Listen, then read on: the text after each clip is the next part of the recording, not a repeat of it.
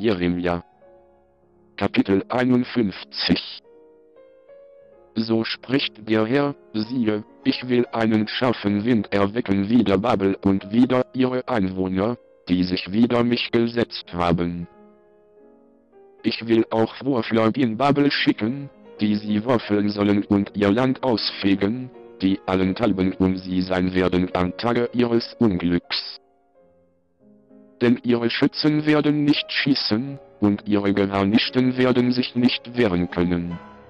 So verschont nun ihre junge Mannschaft nicht, verbannet all ihr Heer. Dass die Erschlagenen da liegen im Lande der Chaldäer und die Erstochenen auf ihren Gassen.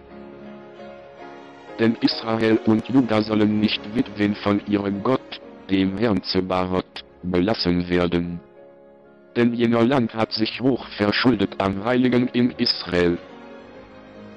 Flieht aus Babel, damit ein jeglicher seine Seele errette, dass ihr nicht untergeht in ihrer Missetat. Denn dies ist die Zeit der Rache des Herrn, der ein Vergelter ist und will ihnen bezahlen. Ein goldener Kelch, der alle Welt trunken gemacht hat, war Babel in der Hand des Herrn, alle Heiden haben von ihrem Wein getrunken, darum sind die Heiden so toll geworden. Wie plötzlich ist Babel gefallen und zerschmettert. Heulet über sie, nehmet auch Salbe zu ihren Wunden, ob sie vielleicht möchte heil werden.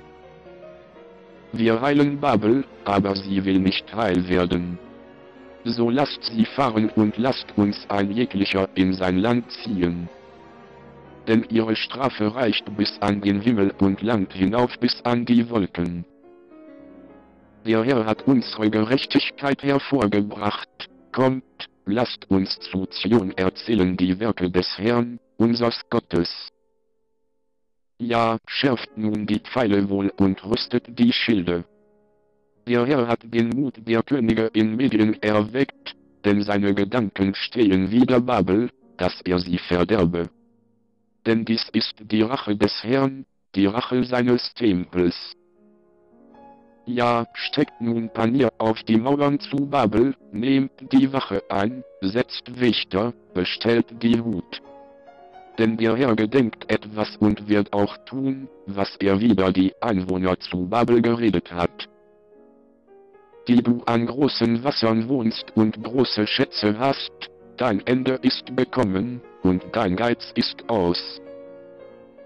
Der Herr Zebaroth hat bei seiner Seele geschworen, ich will dich mit Menschen füllen, als wären's Käfer, die sollen dir ein Liedlein singen.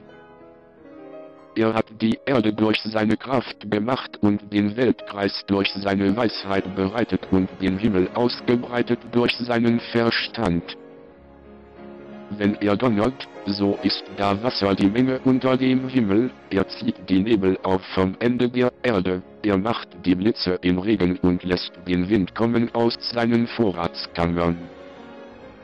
Alle Menschen sind Narren mit ihrer Kunst, und die Goldschmiede bestehen mit Schanden mit ihren Bildern, denn ihre Götzen sind Trügerei und haben kein Leben. Es ist eitel nichts und verführerisches Werk, Sie müssen umkommen, wenn sie heimgesucht werden. Aber also ist der nicht, der Jakobs Schatz ist, sondern der alle Dinge schafft, der ist's, und Israel ist sein Erbteil. Er heißt Herzebaroth. Du bist mein Hammer, meine Kriegswaffe, durch dich zerschmettere ich die Heiden und zerstöre die Königreiche. Durch dich zerschmettere ich Rosse und Reiter und zerschmettere Wagen und Fuhrmänner. Durch dich zerschmettere ich Männer und Weiber und zerschmettere Alte und Junge und zerschmettere Jünglinge und Jungfrauen.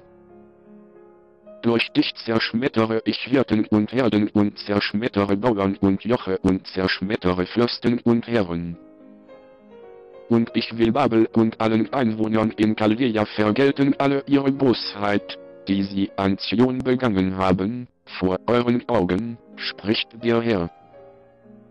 Siehe, ich will an dich, du schädlicher Berg, der du alle Welt verderbest, spricht der Herr, ich will meine Hand über dich strecken und dich von den Felsen herabwälzen und will einen verbrannten Berg aus dir machen. Dass man weder Eckstein noch Grundstein aus dir nehmen könne, sondern eine ewige Wüste sollst du sein, spricht der Herr. Werfet Panier auf dem Lande, laset die Posaune unter den Heiden, heiliget die Heiden wider sie, rufet wider sie die Königreiche Ararat, Mini und Askinas, bestellt Hauptleute wider sie, bringt Rosse herauf wie flatternde Käfer. Heiligt die Heiden wider sie, die Könige aus Medien samt allen ihren Fürsten und Herren und das ganze Land ihrer Herrschaft. Dass das Land erbebe und erschrecke, denn die Gedanken des Herrn wollen erfüllt werden wie der Babel, dass er das Land Babel zur Wüste mache, darin niemand wohne. Die Helden zu Babel werden nicht zu Felde ziehen, sondern müssen in der Festung bleiben, ihre Stärke ist aus, sie sind Weiber geworden, ihre Wohnungen sind angesteckt und ihre Riegel zerbrochen. Es läuft hier einer und da einer dem andern entgegen, und eine Botschaft begegnet der andern, dem König zu Babel anzusagen, dass seine Stadt gewonnen sei bis ans Ende. Und die Furten eingenommen und die Seen ausgebrannt sind und die Kriegsleute seien blöde